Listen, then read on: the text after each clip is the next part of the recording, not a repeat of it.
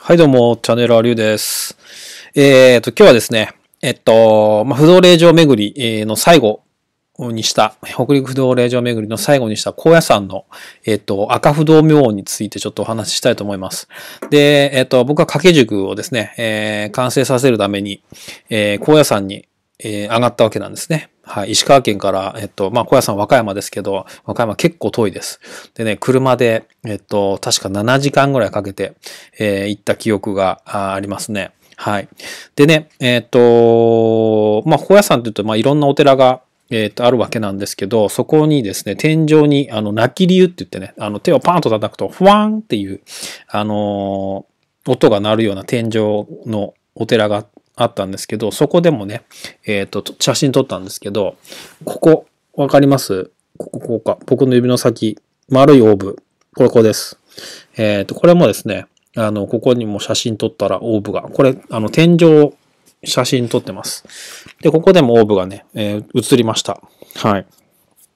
で、まあ、この辺はですね、もうあの散々、えー写真撮った時にオーブが映りまくっていましたので、まあ、全然、あの不思議な感じはしなくてですね、またあの、歓迎されてるなと、えー思ってね、写真撮ってたのを覚えてます。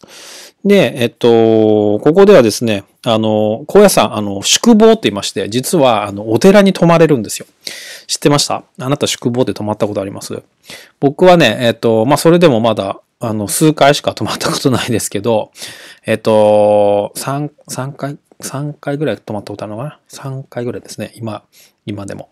で、あの、お寺に泊まることができます。で、なかなかね、あの、まあ、えっと、旅館とか、ホテルとか、えーまあ、最近じゃ民泊みたいなのもあると思うんですけど、あの、お寺に泊まるのですごくおすすめです。で、大体ですね、朝のお勤めって言って、えー早朝にですね、あのお経を読むっていうようなね、あのことにも参加できたりすることが結構多いので、えーおすすめです。で、僕ね、その妙院っていうとこ泊まったんですけど、行ったらですね、えっと、あの、特別室みたいなところがたまたま空いてまして、そこを、あの、泊まらせてもらったんですね。はい。なんで、あの、そこらの、えー、なんていうんですかね、錆びれたホテルよりもすごく綺麗でした。はい。